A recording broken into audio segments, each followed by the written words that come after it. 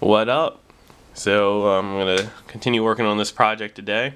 On Thursday the SparkFun package came in. Got the LCD and got the Magician chassis, which after I saw the chassis I'm now really excited. I'm definitely going to try to uh, put together a chassis and put together encoders for it. So this is what I have and uh, this is the LCD that I'm going to be using. This is two lines, this was only one line. And this is backlit. So uh, first thing we need to do is make sure that this code will work with this LCD. So I'm going to have to go and solder uh, male headers onto here so I can use it on the breadboard. And I think I'm just going to to conserve male headers. On this one I just use a strip of male headers.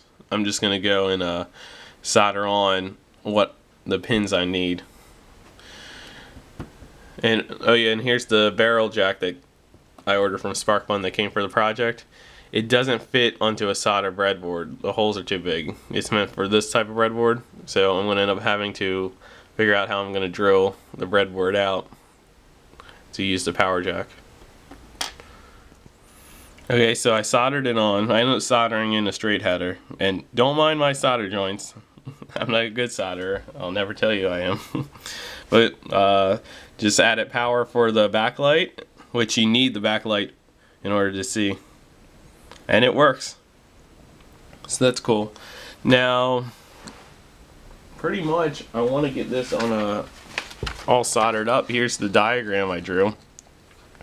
The only thing I didn't fill in was the power for the LED because I figured, well, I could run the power off of uh, one of the pins of the 644 but I'm still going back and forth whether I should do that but uh, first we had to see how much milliamps that LED draws. So uh, let's look at the back of it.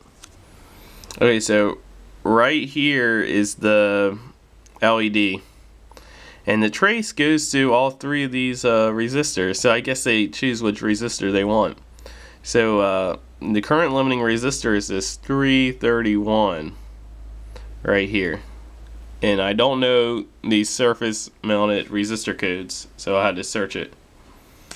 Okay, so I looked it up online, and that 331 is a 330 ohm resistor. I also measured it with my multimeter, and um, it came out to 327 ohms. So uh, under worst case, I don't know what the voltage drop across this diode is. So under worst case scenario, the resistor would have a voltage drop of 5. We know it doesn't because the diode consumes the voltage. But let's assume under worst cases, the resistor is going to have a voltage drop of 5. So 5 divided by 330 equals 15 milliamps. So that's well under the um, 40 milliamp of the microcontroller so I won't be burning out any pins. I'm still hesitant on whether I should do that or not because the microcontroller is always going to have, uh, I mean, we can cut out the backlight. So like if for some reason in the future I want to use that board for data logging of some sensor or whatever, I can uh, cut out power, the backlight power, which will save 15 milliamps. It'll save, you know, a little bit of power on the battery. But the LCD module is always going to have uh, always going to have power. So I'm going back and forth whether I should wire it up or not. I guess I uh, I guess I will. I have plenty of pins. But then I was also thinking maybe I should supply the LCD module with uh, the microcontroller. Nah. Okay, I'll just go and hook up this to uh, the backlight power to the microcontroller. Okay, so I got the LCD mounted to the board. I decided I wanted to put male headers here so I can pull out the LCD and use it for a different project, you know, so it doesn't have to be tied down to this board. And since it stuck out so much, luckily when I was building the line following robot at Radio Shack, I bought these standoffs that I never used. So I used two to uh, keep it level and it turned out pretty good. Uh, these holes right here on the LCD were too small for these screws, so I had to drill them out. Drill them out, and now it's mounted pretty solid.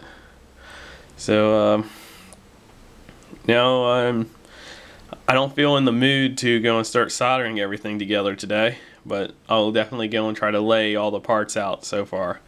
And I had to decide whether I'm going to put male headers off of the microcontroller so that in the future I can just stick, you know, stick the be able to stick wires in the male headers to get to the microcontroller. But we'll see. Okay, so I have it laid out pretty nice. Um, yeah, so uh, this is all the main components. The only thing that's missing are the 0.1 UF decoupling capacitors for the chips and the uh, 10 kilo ohm resistor for the reset pin. But I think this is a nice layout. I really don't feel like soldering today, so I'm going to hold off.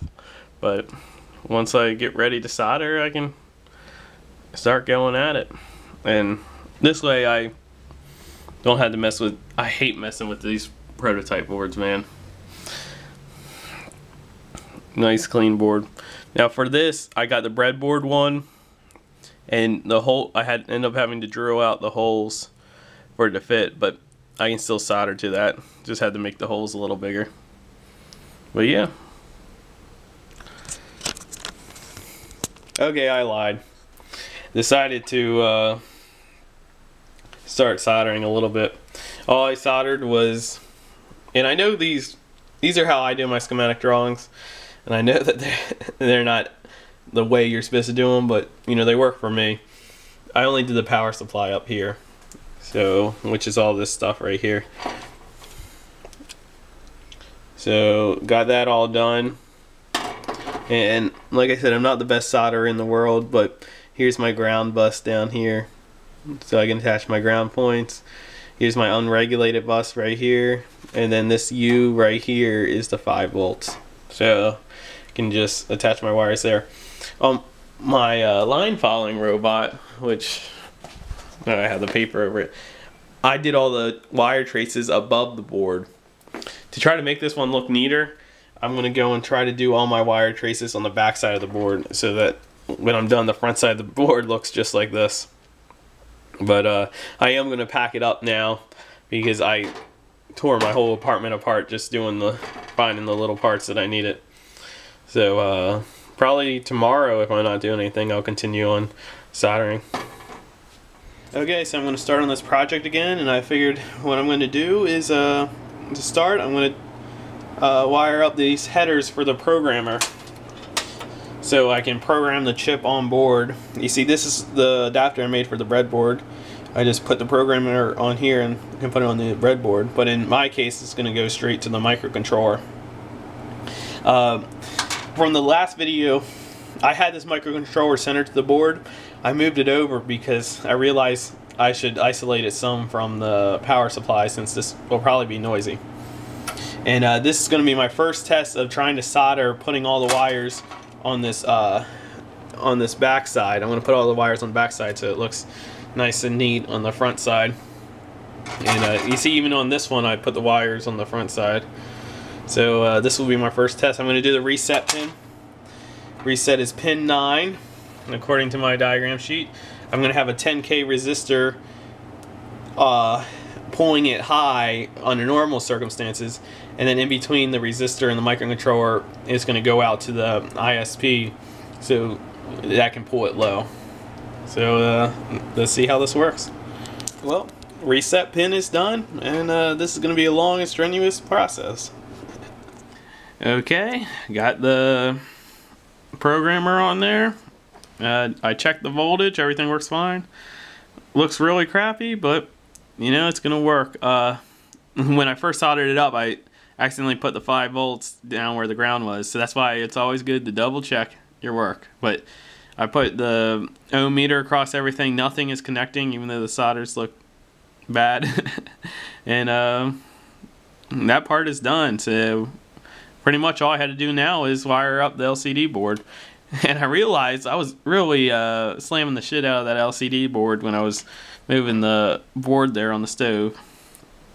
But I want to leave it in place so the header stays solid there. So uh, that's what I did so far. Okay, so I just finished soldering it up. Like I said, I'm not a professional solderer, so don't want to, but it'll all work. And I'm glad I bought that wick because I needed to use it a handful of times. So, uh, last thing you always do is uh, check to make sure you don't have any shorts. Which I, I I I periodically check what I've soldered as I go, but I'll I'll check the mains or the you know uh, where it all comes in. Trying to get this on camera. Okay, it is 598 ohms. So uh Uh, that should be good. I'll uh, double check to see what that that is at 6 volts to make sure uh, it's not drawing a whole bunch. Okay, so I calculated it out to about 12 milliamps, which is good. So I put the chip in. This chip is the one I was using on the breadboard, prototype board, and uh, should still have the same program in it. So let's see what happens.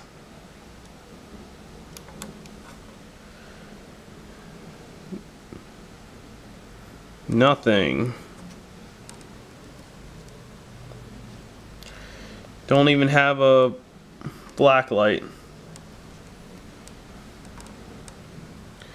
So let me start doing some diagnosing. Okay, so I checked all my voltages were good. But look, I forgot to ground the black light, uh, backlight. So, one more solder to go. So I guess I kind of rushed that there, you know. I didn't check over all my traces. I just checked as I go and made that mistake but uh, didn't fry anything so backlight is grounded now let's see what happens yeah that's good oh yeah by the way the backlight is being fed from the microcontroller. Straight straight. Uh, let's see. Oh there we go.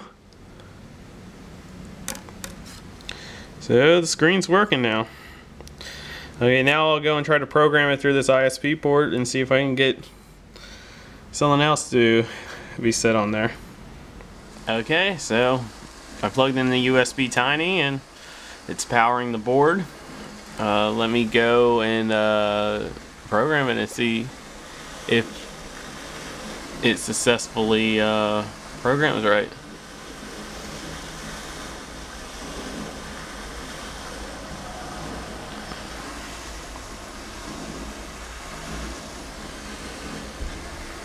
Yep.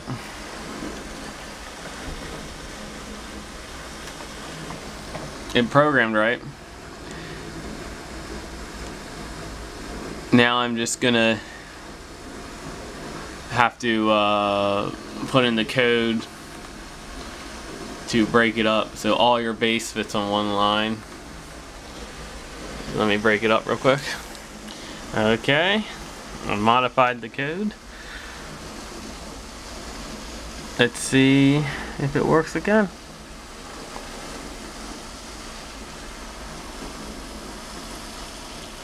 All your base are belong to us. And this uh, SparkFun LCD, the red, it looks awesome, man, in real life. And uh, so much better than having this, you know, a solid thing. And now I, if I want to test out sensors, I can just solder the sensors to the microcontroller and I have a, a, screen up there. So I hope you enjoyed this video. If you have any questions or have any suggestions on how I could have done things differently next time, uh, feel free to uh, leave it in the comments below.